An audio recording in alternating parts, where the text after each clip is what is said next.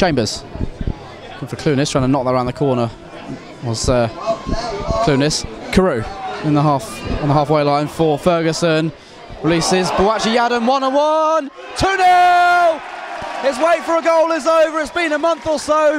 Nana Boakye-Yiadom gives Dulwich a second just before the break. Ferguson, who made the first, slips a delightful pass through. Goal number four for the club. On the home side, doubling their advantage at a crucial moment in this first half.